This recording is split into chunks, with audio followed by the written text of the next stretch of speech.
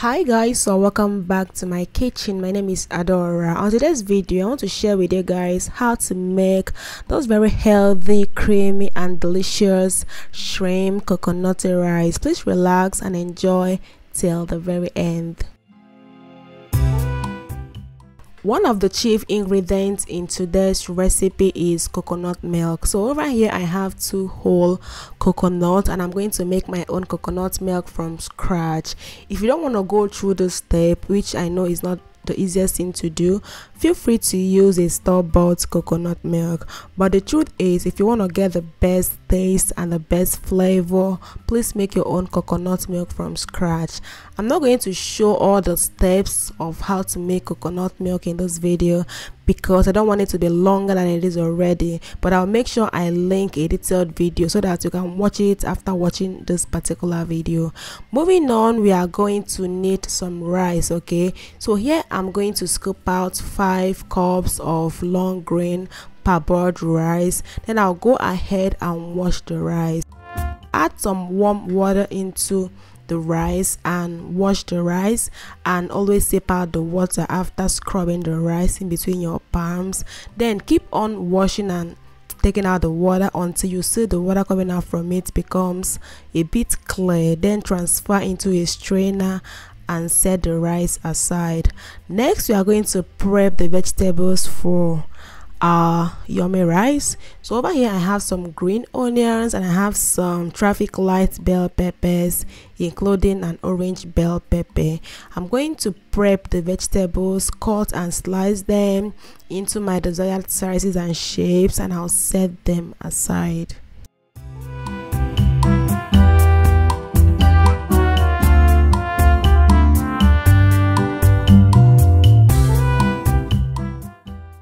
over here are shrimps. You're going to season these shrimps. I added some salt some thyme some paprika and some Knorr seasoning powder. I mixed everything together covered it with film wrap and let it marinate in the fridge for about 30 minutes to one hour. If you don't have time to wait it is okay to use it right away. But if you have time just let it marinate next we are going to blend our spices and our herbs. So here i added one habanero pepper ginger garlic turmeric and half bulb of onion into a blender. Added some warm water and blend everything together. After that set it aside the last and the most important thing you need to make sure you achieve the best result is using the right cookware okay? Sometimes people follow all the recipe but they end up with badly cooked meal because they use the wrong cookware. I love using a high quality cookware to make my dishes and one of them is this brand of skillet by msmk okay? This is a 12.5 inches skillet with a lid okay? It has triple layers of non-stick material and tough titanium ceramic diamond compound which makes it super super durable the pan's Y-shaped structure allows the handle to distribute heat effectively and it keeps the handle cool continuously so it has a stay cool handle. It also has a 4mm thick smooth stainless steel bottom and this allows for even heat distribution. This pan is FDA approved so you don't have to worry about toxins getting into your food while cooking. I so much love using this pan to fry my tomato stews guys imagine frying a whole tomato stew without it getting burnt without it sticking to the bottom of the pan. It is so mind-blowing. I also love to use it to fry akara. Just imagine the beautiful golden brown color it is giving me okay? I also use this pan in the oven because it is oven safe okay? Up to 700 degrees fahrenheit guys. The last but not the least thing for me about this pan is how very very easy it is to clean. It is also also dishwasher safe. Guys if you're looking to get a very high quality pan or cookware make sure you check out this brand. They also have different other types that you can ever imagine okay? Make sure you check out their website. I'll insert it in the comment section. Now into a heated pan add about quarter cup of cooking oil. Use any oil of your choice let it heat up which takes about 30 seconds to 1 minute. Then add in our already seasoned shrimps and let it fry until it gets golden brown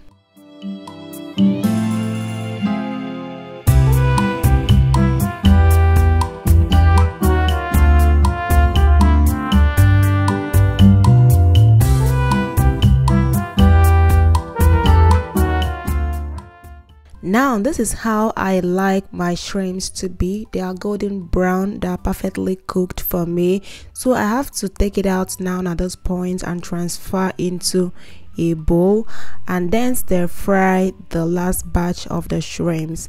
After that i'm also going to scoop it out and transfer to the bowl and set the shrimps aside.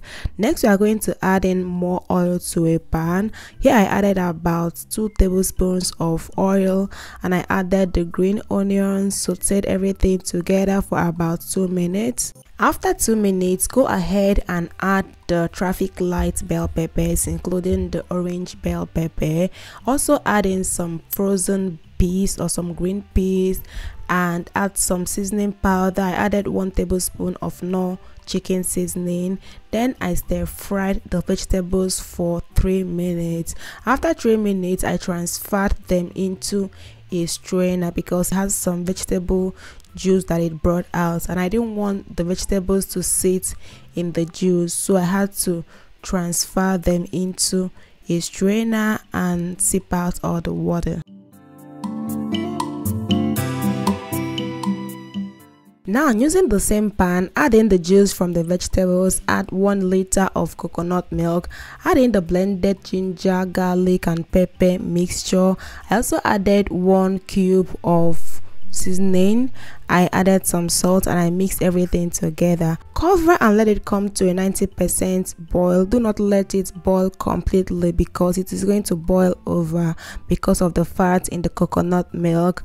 Now mix everything around for the last time and then pour in the already washed rice if you are watching till this point please give this video a thumbs up. And if you're not yet subscribed to this channel please subscribe. It is free okay? But most importantly give this video a thumbs up okay? Click on that like button.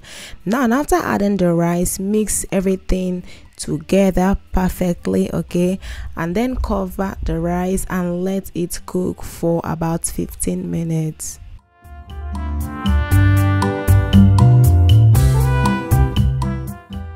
this was after 15 minutes and at this point my whole house not even just my kitchen was smelling so so good. Guys you know that smell that good aroma that comes from dishes made with coconut milk? At this point my whole house was just smelling that good. Now we are going to stir the rice around and we're going to turn down the heat and let the rice steam for another 10 minutes. And this is after 10 minutes the rice is completely cooked now I'm going to introduce the shrimps and the vegetables and I'll stir everything around and that is it guys. It's ready okay? Thank you guys so much for watching. I hope you try out this dish. It tasted so so good. Like you need to try it out. Thank you so much and please give this video a thumbs up. And make sure you check out the link to this beautiful cookware that I used in this video. Thank you and I'll see you guys in my next one